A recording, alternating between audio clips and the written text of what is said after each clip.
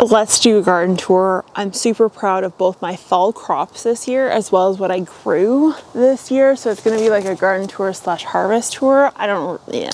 Anyways, let's get into it. Actually, first, I'm gonna put my bunny hug on because your girl is really cold. Um, I'm trying to be tough and I'm wearing black as like a mourning cover color for the fact that summer is done. Before we go there, let's talk about um, some unique stuff that I grew. So overall, the harvest this year was okay. Um, I haven't actually harvested my carrots yet because my carrots I like to put through like a little bit of a frost because it actually increases the flavor. I also haven't touched my beets because I have literally been working my day job like a slave. Um, I'm staying very late at nights lately.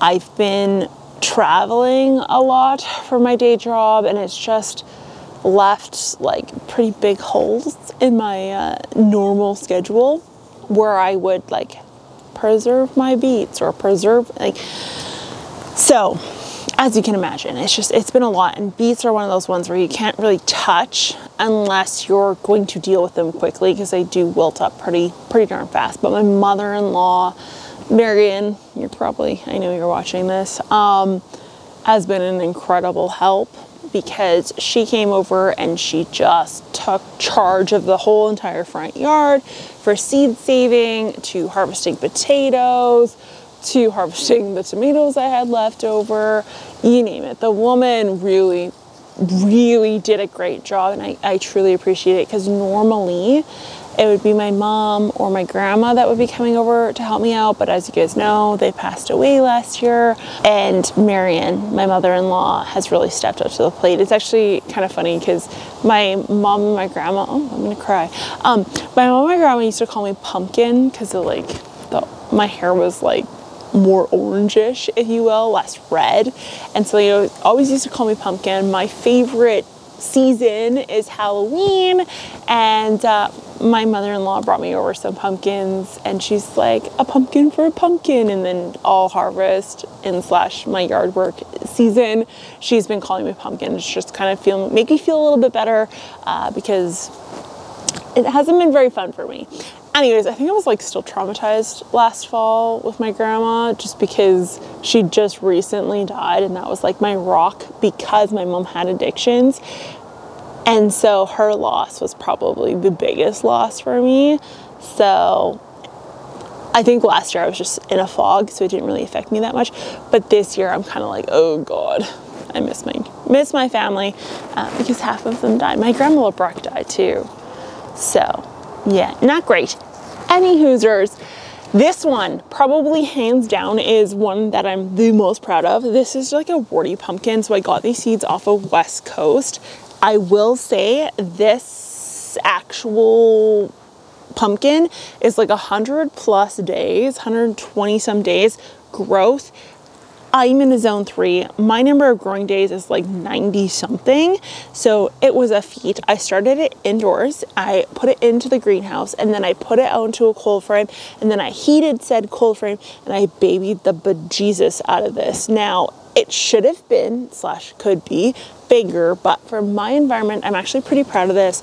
This was kind of, if you guys watched my videos previous, I spoke about how you should always try at least one plant you've never grown before or kind of like the plant that you're like I wish I could grow but I can't grow in my environment and just try and this is hands down what it is it was just actually my goal was artisan pumpkins in general because I just find them so cute anyways, this one worked out wonderfully. I did do green ones as well. They didn't turn out as well. So this one I'm super proud of. Now the other one, oddly enough, is actually gourds. So I planted mixed gourd pack and I literally got like there's white ones you name I have buckets of these things I direct sowed these I didn't even start them indoors at all or in the greenhouse. I literally direct sowed them as a Hail Mary with seeds that are about two years old. I actually bought these seeds fall of 2022 and I didn't plant them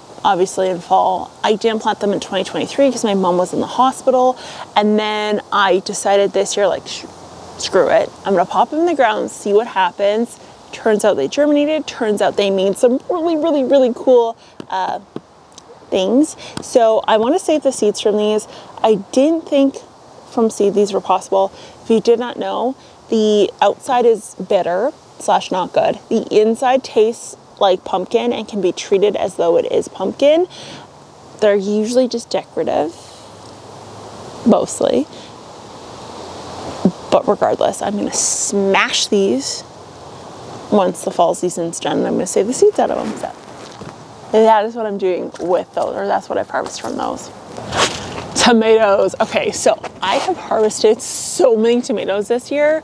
I have freezer bags full and I still have freezer bags full from last year and I need to make tomato sauce and I freeze them because it's easier to core and it's actually easier to remove the skins on. I'm gonna do a video on how I make my tomato sauce, but regardless, this is kind of like the tail end of what I have. These have been hit with frost a few times now, so I mean, yeah, that's, I've got so many tomatoes that if these all freeze, I'm not gonna be, my, my feelings are not gonna be hurt.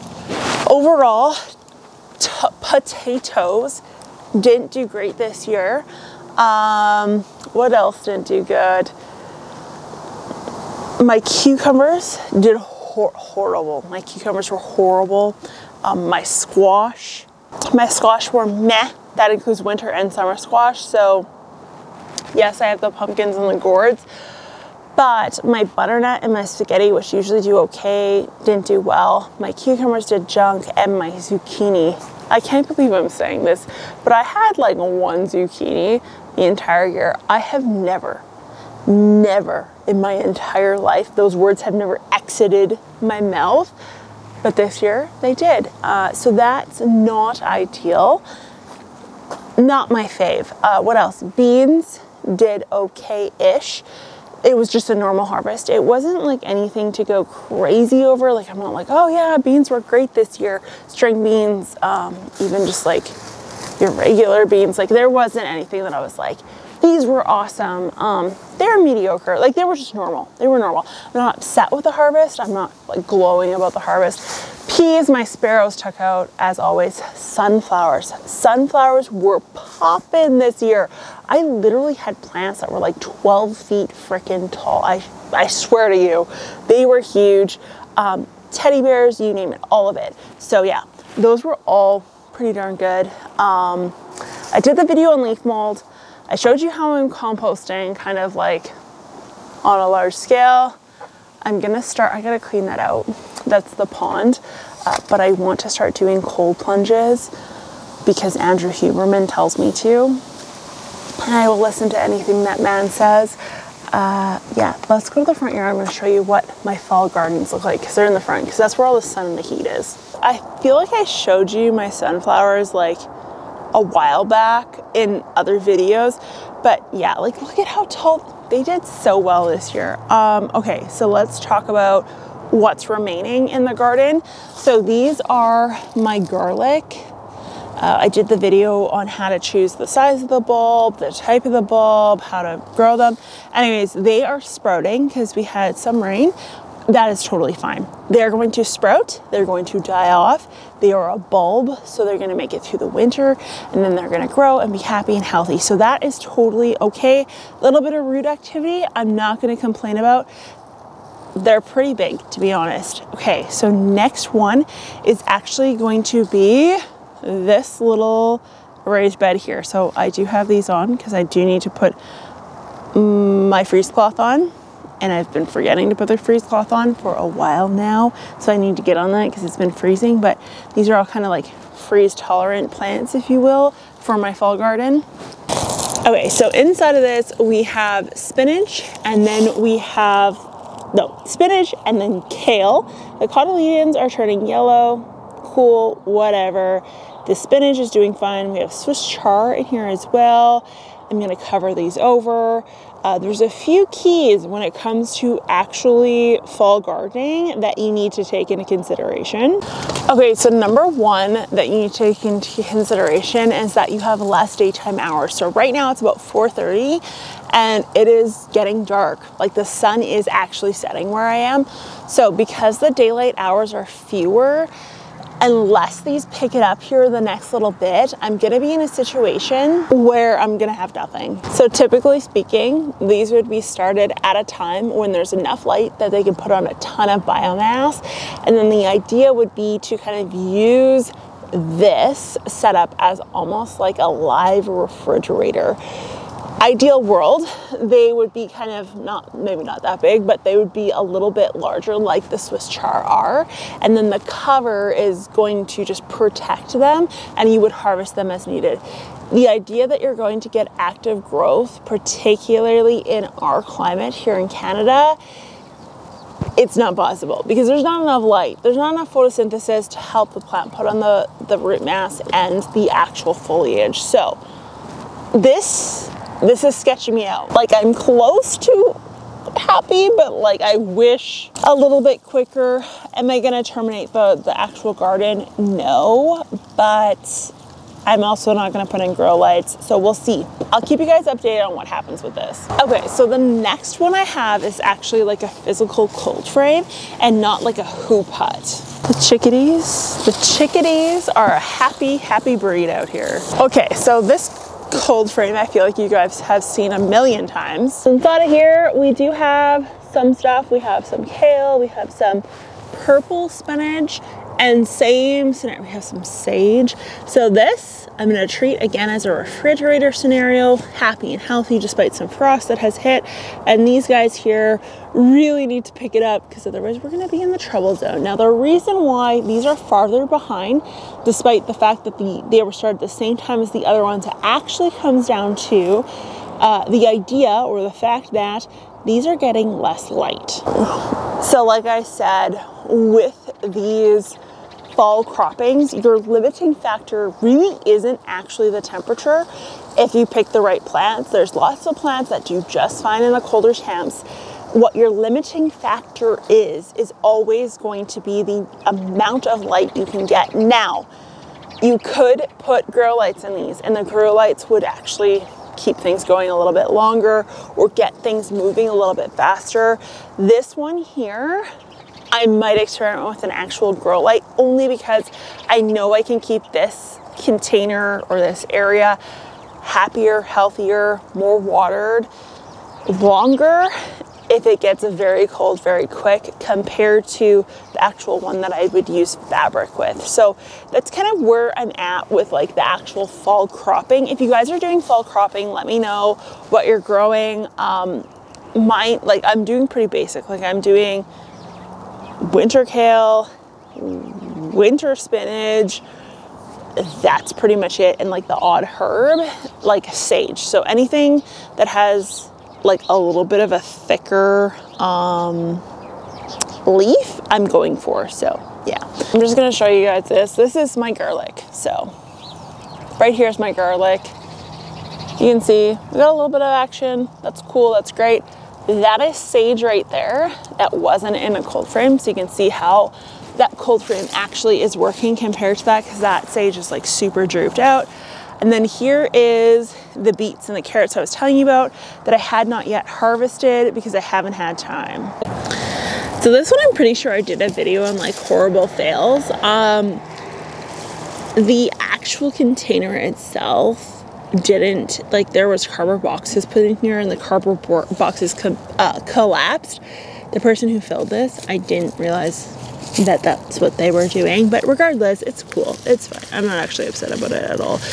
But uh, the resulting factors is that i did end up with like not the greatest harvest out of this bed but you know what? Next year we're gonna fix it so this is kind of what I mean, it's not horrible. So, this is bad by Ashley terms. This is not bad by like your average human being terms, if that makes any sense at all. I'm not trying to tell my own horn, but that is like not like I usually get a little bit bigger than that. So, yeah, I need to harvest these. I haven't had time, but I need to harvest those. That is my carrots. These have been pulverized by uh, frost at this point. So I definitely need to get these out. Like I said, they taste better. They taste way better when they've at least been frosted for like a period of time. Um, like this one. Yeah, these are actually, okay, so the ones I planted in here are like the short, um, they're called micro carrots. I, if I can find the package, I'll send them to you. They're actually quite delicious, if I'm being totally honest. But yeah, so that's what those guys look like. they're like really good. Um, if you guys want to see videos on kind of how I preserve stuff, I have one video coming out next week um, on how I actually do my tomatoes. So I use frozen tomatoes. I don't core, I don't peel, and I actually actually let him kind of sit for several hours unattended. And by several, I mean like overnight because your girl's busy.